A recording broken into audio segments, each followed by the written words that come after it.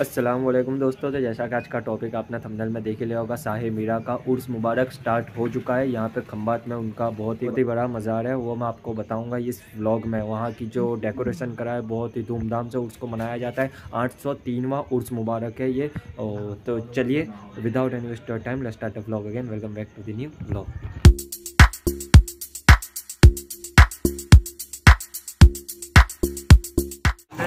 तो दोस्तों, ये है आस्ताना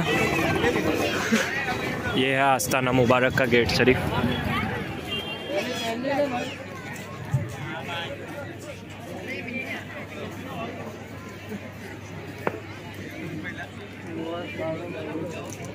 तो दोस्तों, ये है रईस अशरफ।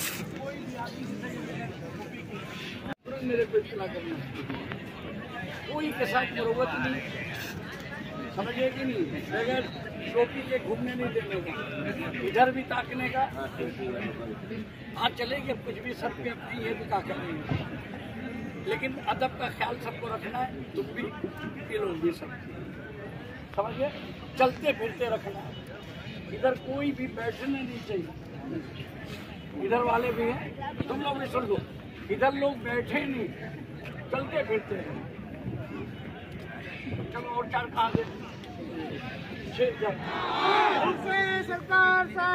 दे पंचाओ तीन हमारी ताकत हमारी हिम्मत। हमारी ताकत हमारी हिम्मत। हमारे। कोई कोई कभी नवाजे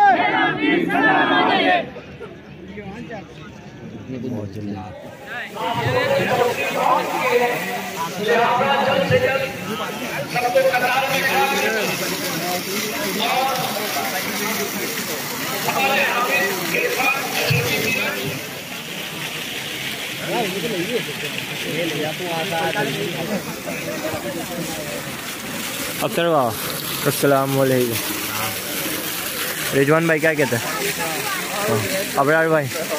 खैरियत? खैरियत?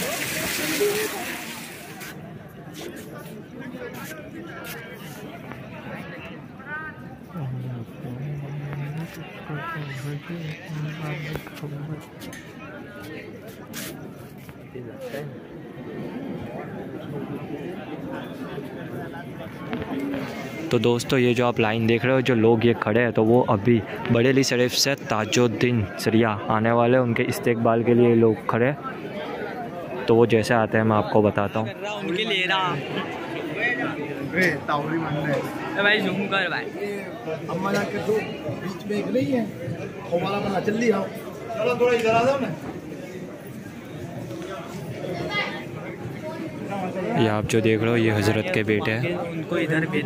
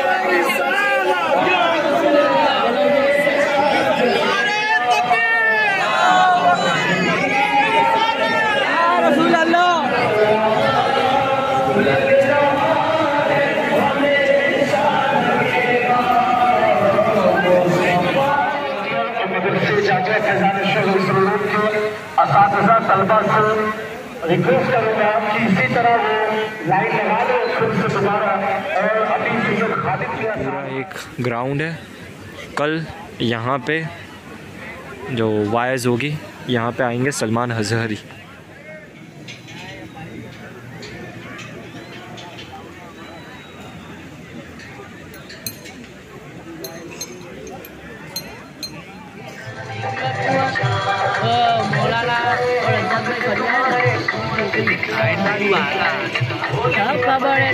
तेरे घूमे मैं क्या बोलने नहीं पाऊँगा फिर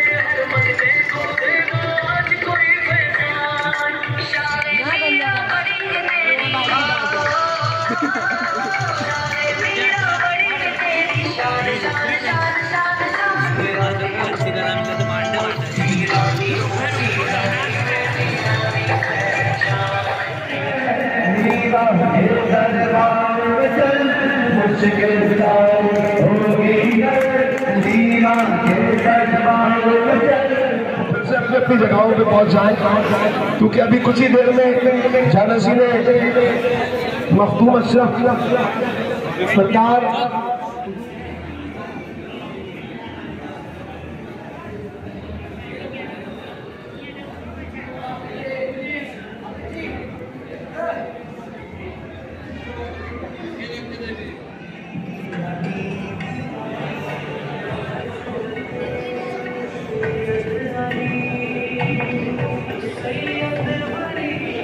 अशद अल जिलानी जाम ने